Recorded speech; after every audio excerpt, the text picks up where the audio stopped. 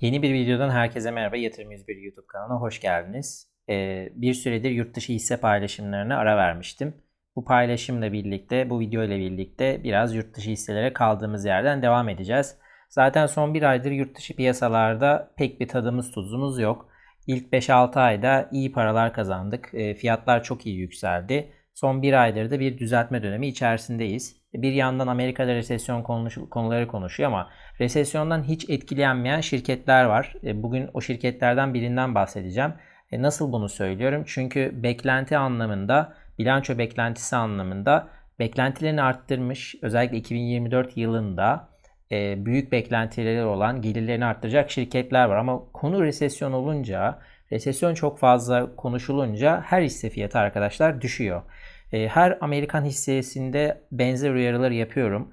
E, bu biliyorsunuz yani yurt dışı piyasalarla ilgili yorumlarımı genellikle bir e, YouTube kanalımda yurt dışı hisse analizleri kısmında paylaşıyorum. Bu videoda bunun bir parçası. Her yurt dışı hisse analizinde özellikle bir dünya resmi koyuyorum ki kolayca bunları ayırt edebilin diye.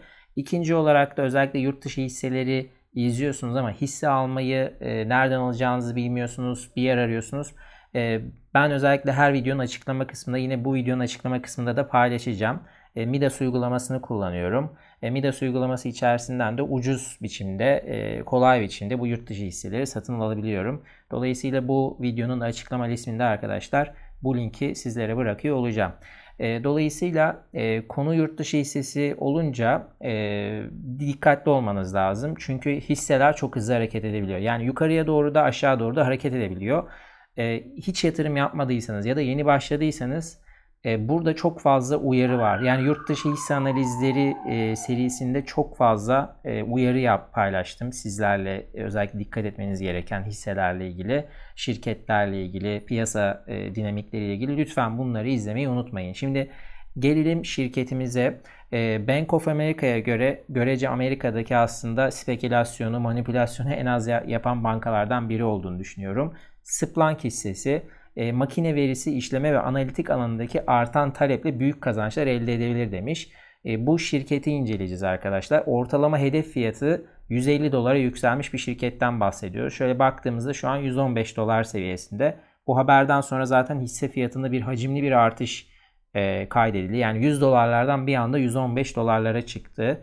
E, ben de bu şirketi biraz araştırdım. E, araştırmalarımı sizlerle paylaşacağım. Şimdi Splunk şirketi aslında basitçe e, belki Datadog şirketi vardır. Daha önce duymuş olabilirsiniz.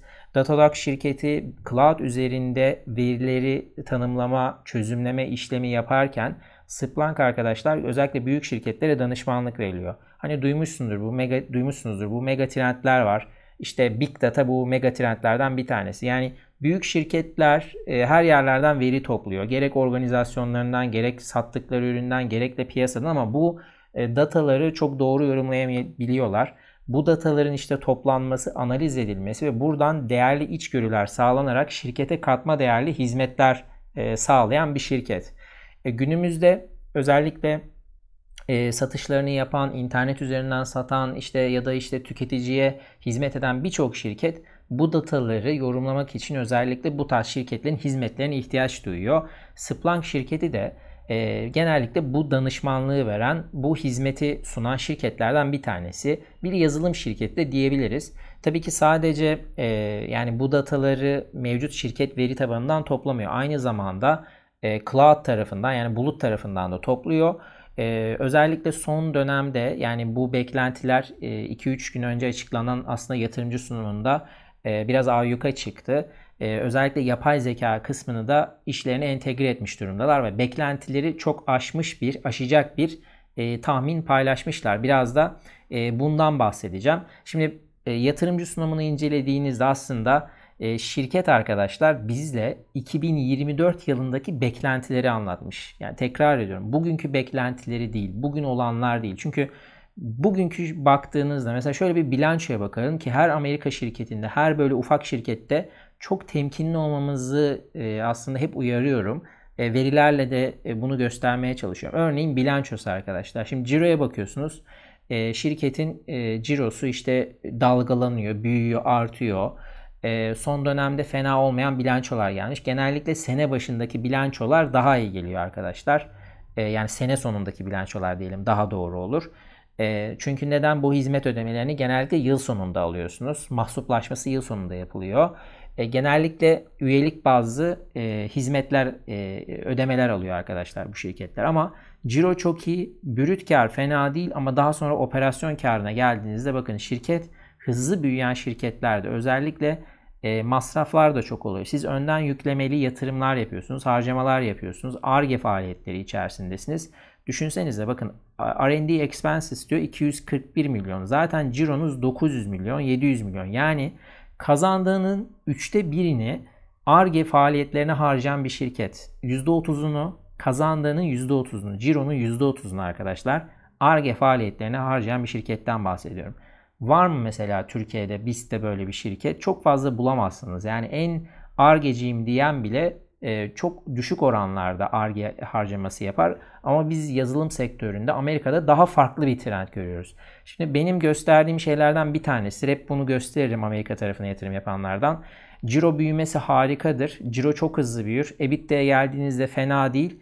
Oradan operasyon income'a, işte net income'a geldiğinizde hiçbir şey kalmaz elinizde. E, dolayısıyla Amerika'da yatırım yapan arkadaşların özellikle ufak şirketlere yatırım yapanlar net income'a göre yatırım yapmazlar. Mesela biz tarafında yani net gelire göre özür diliyorum bazen e, çeviremiyorum hızlı konuşurken ama Türkiye tarafında net olarak biz net kâra daha çok bakan bir e, grubuz. Çünkü bizde çok orta ölçekli ya da büyük şirketler var borsamızda ama Amerika'da öyle değil arkadaşlar. Amerika'da çok ufak şirketler e, özellikle halka arz olup piyasada işlem gördüğü için orada net income'a göre bir fiyatlama yok. Dolayısıyla Amerika'daki mesela fiyat kazanç oranları net income üzerinden hesaplandığı için teknik olarak hani BIST'te olsa Amerika'da olsa aynı hesaplanıyor. FK'lar çok yüksektir. Şimdi bizim FK'larımız mesela eleştiriliyor. Gelsinler Amerika'daki FK'lara baksınlar.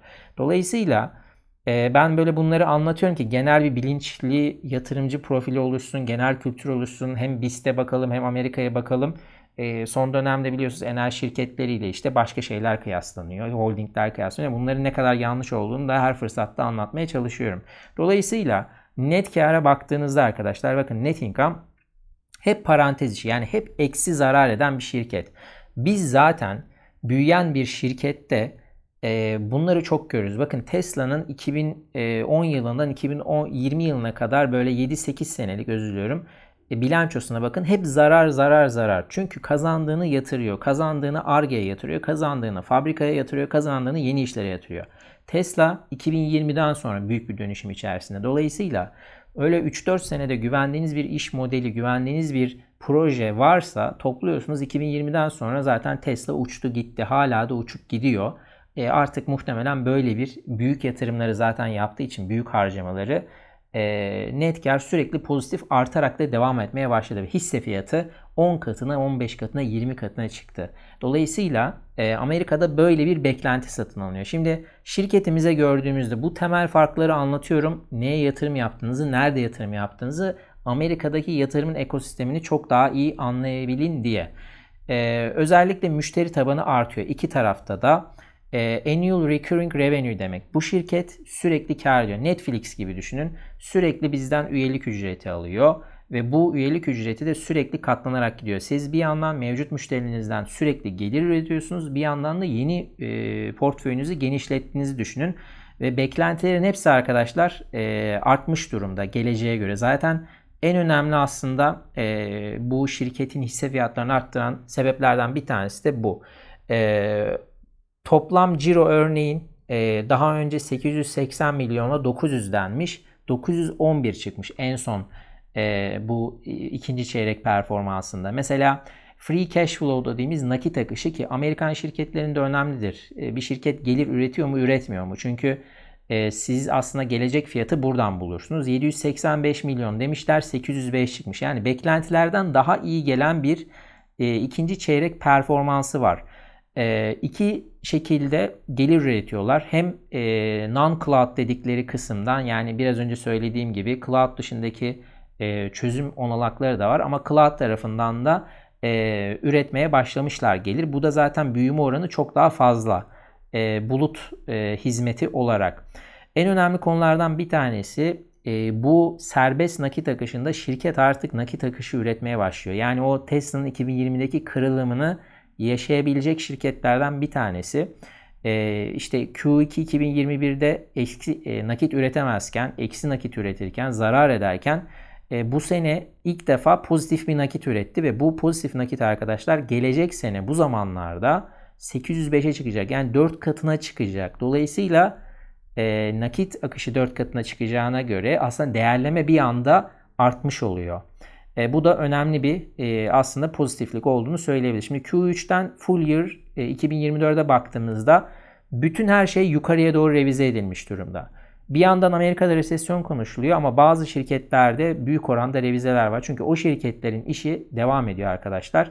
Dolayısıyla hem artan karlılık hem artan e, serbest nakit akışı gibi beklentiler e, bu şirkette özellikle e, ilerisi için bir katalizör olabilir. Çünkü 2023 ve 2024'te özellikle sene sonundaki e, tahsilatların gelişi, yeni müşterilerin burada e, mahsuplaştırılması e, büyük ciro artışlarına yol açacak gibi gözüküyor.